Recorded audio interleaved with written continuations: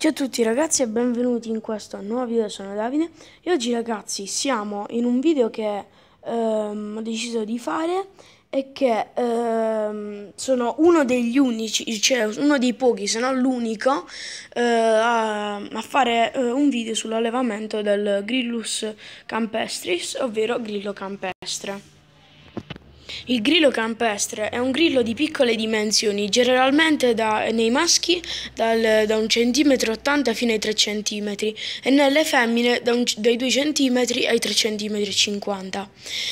Uh, questi grilli sono molto molto molto aggressivi uh, infatti uh, ogni maschio si scava la tana inizio primavera quando diventa adulto e non farà entrare nessuno eccetto la femmina la differenza principale tra maschio e femmina è che il maschio possiede ali eh, trasparenti e giallognole ed è un po' più grande, la femmina è un po' più piccola e delle ali nere e lunghe che ricoprono la lunghezza del suo intero addome anche nello stadio adulto.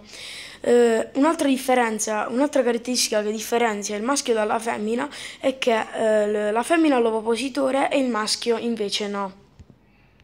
I grilli campestri hanno una cosa di diverso in confronto agli altri grillidi, nel senso che gli altri grillidi si accoppiano eh, nel, nel, normale modo, mentre loro, eh, mentre maschio, eh, la femmina salirà sopra il maschio durante la stagione dell'accoppiamento e eh, verrà trasferita dal maschio una sacca gialla eh, o bianca a seconda, della, a seconda dell'età del maschio che eh, servirà appunto a contenere le uova che la femmina andrà a deporre a inizio inverno eh, o a inizio estate.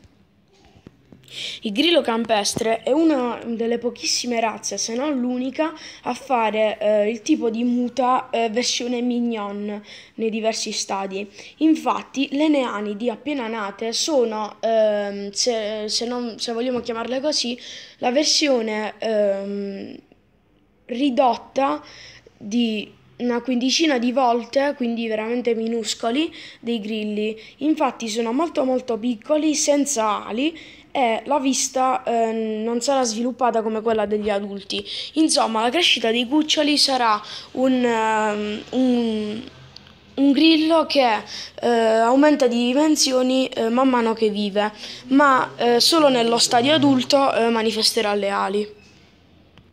Per assicurarci un buon allevamento di questa razza eh, occorre che sia eh, almeno di 30 cm x 40 cm. Eh, almeno eh, queste dimensioni bastano dai 3 ai 10 esemplari. Uh, se vorremmo ospitare un centinaio o addirittura un migliaio di esemplari, ci serviranno vasche di enormi dimensioni, uh, ma uh, permetteranno una crescita de della prole molto molto veloce e soprattutto agilità nei grilli che vivranno leggermente di più di, della vita in natura. La temperatura adatta a questi grilli è dai 20 ai 35 gradi, non superiore e non minore, altrimenti i piccoli moriranno sul colpo e gli adulti ne risenteranno gravemente perdendo arti e antenne e subentrerà anche il cannibalismo, eh, oltre che non mangeranno nemmeno la frutta e le altre cose che mettevamo noi. Ma c'è una cosa davvero davvero importante per riallevare questa specie, ovvero la terra. Non solo non, non, non, è la semplice presenza della terra un centimetro, due centimetri, dovete mettere almeno 15 centimetri di terra perché i grilli scaveranno a un certo punto della loro vita. Premetto che gli adulti comprati in cattività o catturati in natura non scaveranno la tana essendo molto spaventati eh, perennemente, ma i piccoli eh, una volta arrivati allo stadio adulto saranno abituati e quindi la scaveranno. Gli adulti, cioè, gli adulti comprati o catturati, come vi stavo dicendo prima, eh, non necessitano per forza una, della terra e quindi potete metterli anche tra i cartoni o potete usare anche la carta o la, il legno, ma i piccoli necessitano assolutamente della terra, altrimenti il loro ciclo non sarà perfetto.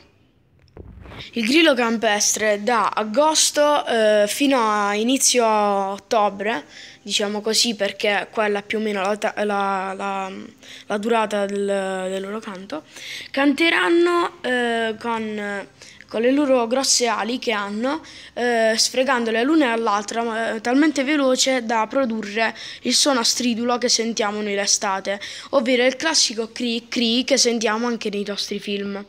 Il grillo eh, non smetterà di cantare finché non arriverà una femmina. Possono cantare a qualunque ora del giorno, ma l'ora in cui possiamo ascoltare di più è dalle 8 alle 5 di mattina. Uh, in rari casi uh, dimostrano che il grillo uh, in, in, calore potrebbe cantare anche dalla mattina fino al, alle 5 di mattino, non oltre altrimenti le ali si spezzeranno. Questa è una breve una breve dimostrazione del canto del grillo campestre.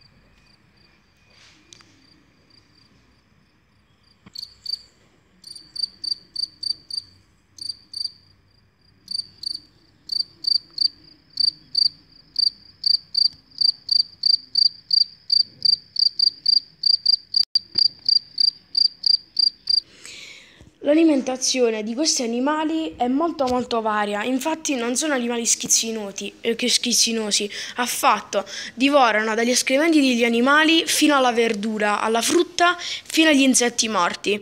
Diciamo che si adattano alle, alle loro necessità.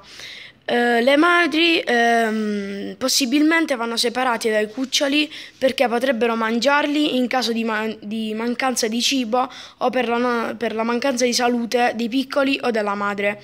Quindi è importante che si separino. Il padre non avrà nessun effetto sui piccoli in quanto si dimenticherà della loro nascita dopo pochi secondi.